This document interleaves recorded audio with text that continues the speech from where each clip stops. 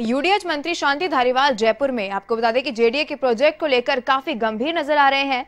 बुधवार को जहाँ धारीवाल ने सोडाला एलिवेटेड रोड का निरीक्षण किया तो वहीं गुरुवार सुबह मंत्री धारीवाल ने द्रव्यती नदी प्रोजेक्ट का भी दौरा किया। इस दौरान मंत्री धारीवाल ने लैंडस्केप पार्क से दौरे की शुरुआत की और बम्बाला पुलिया टोंग रोड तक द्रव्यवती नदी प्रोजेक्ट के कार्यो का जायजा लिया। इस दौरान मंत्री धारीवाल ने लैंडस्केप पार्क में पौधारोपण भी किया और अधिकारियों को कार्य गति बढ़ाने के निर्देश भी दिए। इस दौरान जेडीसी टी रविकांत व जेडीए के आला अधिकारी साथी उनके मौजूद रहे। आपको बता दें कि 9 जून को मंत्री धारीवाल रिंग रोड परियोजना का भी निरीक्षण करेंगे।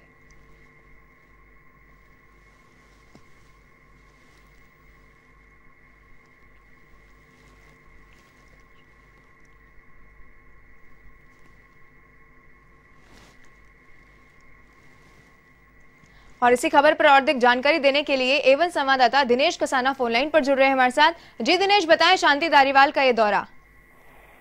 देखिए लवीना, जो जेडीए के प्रोजेक्ट हैं, उनकी धीमी गति को लेकर यूडीएच मंत्री काफ़ी नाराज़ हैं और कल भी उन्होंने सोडाला एलिवेटेड रोड का दौरा किया था, कार्य का निरीक्षण किया और ये अधिकारियों को जल्दी कार्य को पूर्ण करने के निर्देश दिए थे। आज भी मंत्री धारीवाल ने जो पिछली सरकार का ड्रीम प्रोजेक्ट था वसुंधरा सरकार का द्रौपदी नदी प्रोजेक्ट उसके कार्य को लेकर आज का उसका निरीक्षण किया लैंड स्केप पार्क से प्रताप नगर तक उन इस कार्य का निरीक्षण किया और पूर्ण रूप से इस कार्य में गंभीरता से लेते हुए अधिकारियों को निर्देशित किया है कि जल्द इस कार्य को चार या पाँच महीने में इस कार्य को पूर्ण किया जाए ताकि जन, आम जनता को इसका फ़ायदा मिल सके। वहीं जो रिंग रोड प्रोजेक्ट है जो भी काफ़ी देरी से चल रहा है उसको लेकर भी यूडीएच मंत्री 9 जून को रिंग रोड परियोजना का भी निरीक्षण करेंगे।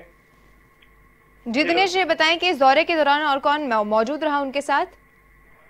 देखिए ना जो जेडीसी है टी रविकांत और जेडीए के तमाम अधिकारी हैं टाटा प्रोजेक्ट जो इस द्रव्यवती नदी प्रोजेक्ट का कार्य कर रहा है। जी। वो उनके तमाम अधिकारी मंत्री के साथ इस दौरे में मौजूद हैं। जी दिनेश तमाम जानकारी देने के लिए आपका बहुत बहुत धन्यवाद। एक बार आपको फिर से जयपुर से खबर बता रहे जहाँ यूडीएच मंत्री शांति धारीवाल ने एक दौरा किया है और द्रव्यवती नदी प्रोजेक्ट का दौरा करने पहुँचे यूडीएच मंत्री।